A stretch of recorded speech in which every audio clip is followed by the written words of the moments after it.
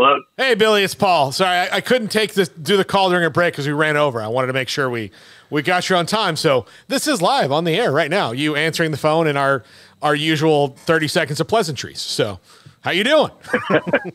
I'm great. Thanks for having me. It's been Yeah. quite the day. Yeah, I, I'll bet. Uh, we have talked about this, and look, there were. It's. I was telling Garrett, our producer, a second ago. Uh, there is.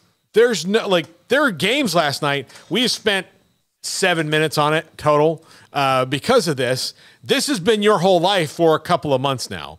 Uh, is SMU getting in the ACC? What is the vibe around Dallas today, around the campus of them getting in the big time and or in the power conferences uh, today, even though they had to to make huge sacrifices to do it?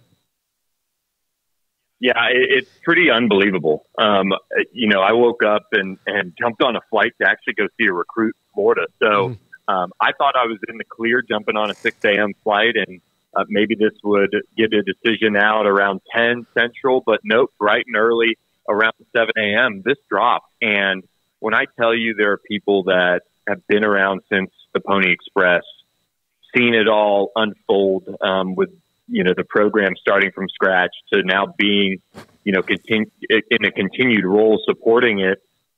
I mean, a lot of people have have tears uh, about today. Uh, it is uh, that emotional. It's been a long, long road for SMU to get back to this level. Now they need to kick the door down and go win a conference championship or, or play for one this year. But they still have been working so hard through the years on facilities, on coaching salaries, on support, NIL now. It's been this uh, group effort um, that really um, got, I think, ignited when they didn't get into the Big 12, um, when UCF, Houston, and, and Cincinnati got in. And then you couple that with Sonny Dykes leaving, and there are a lot of motivated people, namely the, the chairman of the board of trustees, David Miller, who just spent probably the better part of a year and a half campaigning, pulling in support from George W. Bush to Condoleezza Rice, Oliver Luck, um, hiring consultants, and going on the offensive to get this done. And to see it all come together on campus, they just wrapped up their celebration. This is actually perfect timing um, on campus. It it was um, emotional. It was uh, a statement that SMU is back in the in the ranks among you know top college programs. Again, they need to go out and win at a high level on the football field and other programs, but it's been such a long road. It, it was really emotional um, from what I, I've seen today. It's been hard uh, for anybody not named Clemson and Florida State to win the ACC in football. It's been hard for anybody not named Duke, Duke or North Carolina, although Miami's been been really fantastic lately, to win the ACC in basketball. But that's not obviously what this is about. How do you feel about over the next five years their ability to compete in that conference and be near the top of it? Yeah, I think in basketball they have a lot of strides to make. Uh, they're still kind of rebuilding that program, but you know, in football, this is a program that has a lot of NIL support. Um, when I tell you it's in the millions per year, um, it's probably around two million that they that they commit annually, and they've gone out and got the best transfer class in the group of five the last two years. They've been um, among the top overall transfer classes, and they've just been missing that Power Five, Power Four now or Power Three, whatever you want to uh, put it as, uh, conference to help recruit high school players um, at a high level. And now that they have that, they're expected to bring in a lot more talent. And the big thing, though, is the support from the NIL side of things is there to continue to, if there is a situation where they need to push on that front, they feel confident now that they can compete with just about anyone. And that's what it's all about is getting players. And this roster has been turned over going into this season where they feel like they can win an, a, an AAC championship as uh, in their final year in the league. And that would catapult them into feeling pretty good about coming into the ACC and being competitive. I think once you make that jump from a group of five to a power conference, your depth is going to have to continue to be upgraded and, and your talent just overall. But they feel like they're going to be able to compete. I'm not going to sit here and say they're going to compete um, for an ACC championship in year one. I, I don't know if that's feasible just yet. Um, but we'll see what the transfer portal brings them again uh, this off season.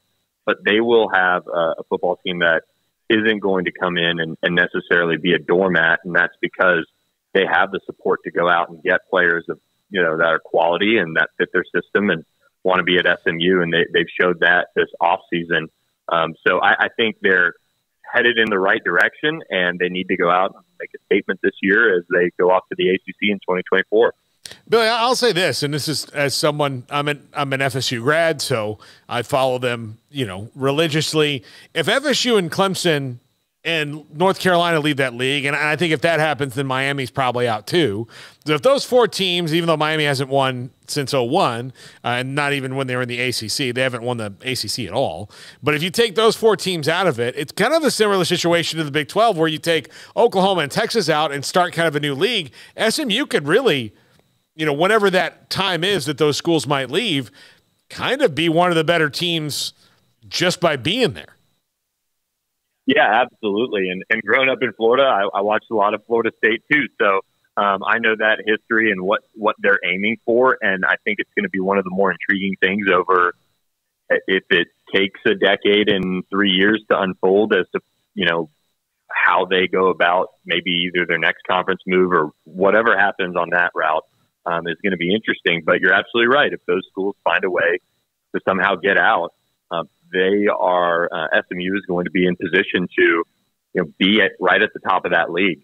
And um, you know, but whenever that happens, you know, quite honestly, with the way SMU is investing in their football program, there's a chance they're going to be competitive right at the top uh, during that time. You know, they're they're going to have to land some of those four star, five star type guys here and there, and if not, supplement them with really good transfers. But SMU has a good blueprint for doing that. They just have been missing that power conference appeal. But, um, you know, whatever the future of the ACC looks like, whether that's with or without those three teams, SMU is, you know, trust me, they are committed uh, as ever, especially now uh, that they're finally in.